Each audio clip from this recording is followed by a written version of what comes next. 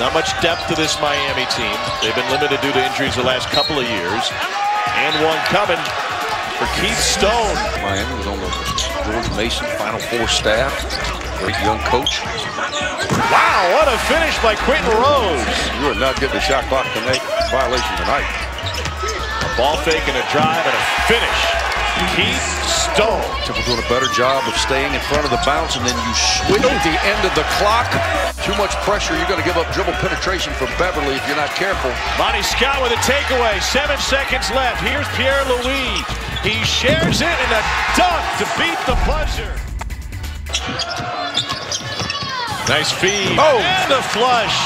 Nate Pierre Louis, and it's a first lead of the night for Temple. Great ball sharing. Pierre Louis. And it's stolen away by Alani Moore the second.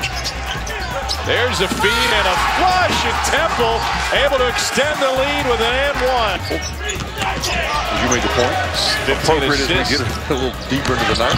Great pass. And the finish from McGusty. And what has turned out to be a very, very competitive game. Lykes gets his hand on the entry pass. Vasiljevic with the spin. He'll take it himself, and he spins it in. Now that is poster worthy. 66 all, three and a half to play. Stone trying to post. Like strokes it in. Deep three. Oh, Back in front. Foreman.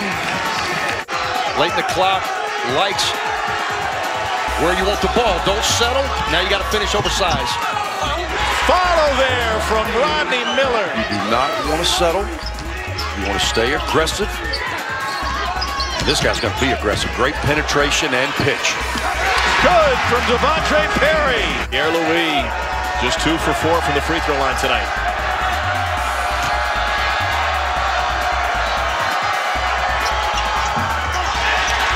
Make it two for five.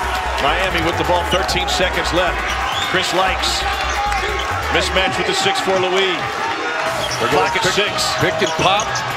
Got him in the air, threw it up, drew the foul. The Hurricanes the lead with 4.4 on the clock. Ties it with one, can give him the lead with his second. Even with the make, it's going to give Temple an opportunity or give Temple an opportunity to go with a full head of steam. Moore feeds it up to Rose. Rose will force it at the buzzer off the back rim. And Miami survives a 78-77 win in Brooklyn. Wow, late night win for the Canes.